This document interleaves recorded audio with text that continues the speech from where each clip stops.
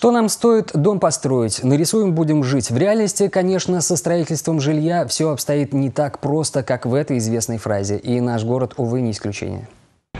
Жилья в городе не хватает, однако с каждым годом темпы его строительства увеличиваются, заявляют специалисты. Так, в 2013-м в Чебоксарах планируют ввести в эксплуатацию более 270 тысяч квадратных жилых метров, в том числе 42 многоквартирных дома.